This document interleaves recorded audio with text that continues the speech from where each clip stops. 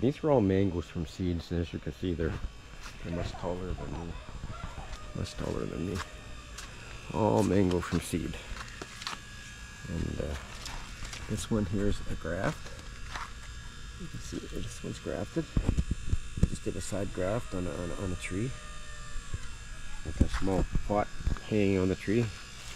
Or rope to the tree. All these other mangoes are just massive, huge, almost twice my height. Just growing from seeds out of pots here. Okay. Just have to be transferred to the plantation now.